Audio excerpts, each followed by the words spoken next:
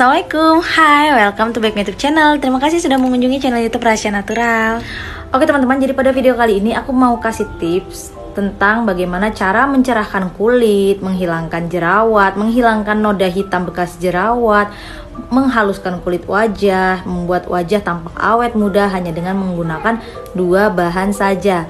Nah, jadi dua bahan yang kita gunakan ini adalah bahan alami yang sangat mudah didapat. Dan kedua bahan ini sudah sangat terkenal sekali manfaatnya untuk merawat kecantikan kulit. Nah, jadi langsung kita simak aja bahan apa aja yang digunakan dan cara membuatnya. Untuk bahan pertama yang kita gunakan yaitu susu denkau putih. Jadi susu putih ini tuh memiliki manfaat yang baik untuk wajah seperti dia dapat membersihkan kulit wajah sebagai eksfoliator alami, berpotensi mencerahkan kulit, melembabkan kulit kering dan membantu mengatasi jerawat. Bahan yang kedua kita menggunakan kunyit bubuk atau turmeric powder.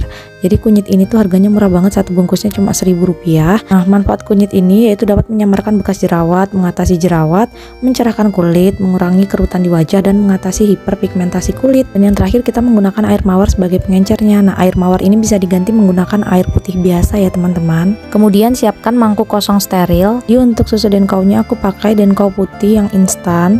Terus ini tuh harganya murah cuma 3500 Oke langsung masukkan aja satu sendok makan susu bubuk putih ke dalam sebuah mangkuk kosong steril. Kemudian tambahkan setengah sendok teh seperti ini.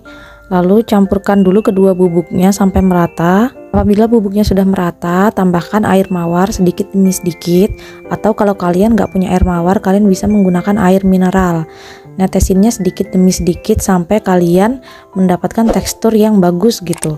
Jadi netesin sambil diaduk sedikit demi sedikit terus aduk sampai merata perlahan aja ngaduknya sampai teksturnya itu kayak kental gitu jangan terlalu encer. Nah kira-kira jadinya seperti ini dan ini tuh udah bisa langsung diaplikasikan di wajah kalian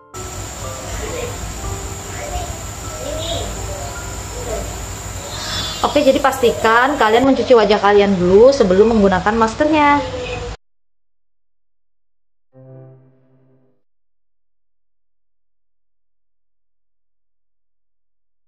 Oke, kemudian diamkan masker ini tuh hingga mengering atau 15 menit aja dan gunakan masker ini 2 sampai 3 kali dalam seminggu untuk mendapatkan hasil yang maksimal.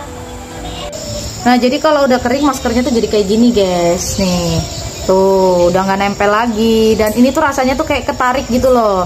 Jadi ini tuh fungsinya bisa untuk mencerahkan wajah, mengencangkan wajah, membuat wajah tampak awet muda dan membersihkan kotoran yang ada di wajah.